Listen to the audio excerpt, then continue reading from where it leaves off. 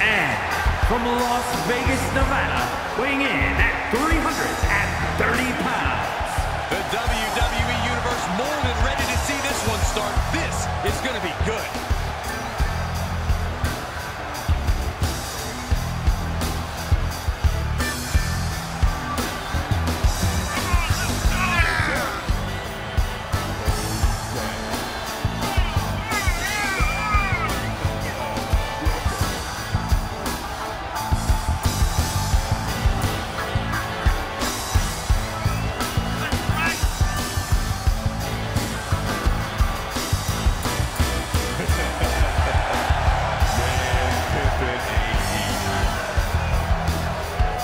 This match has everyone backstage buzzing.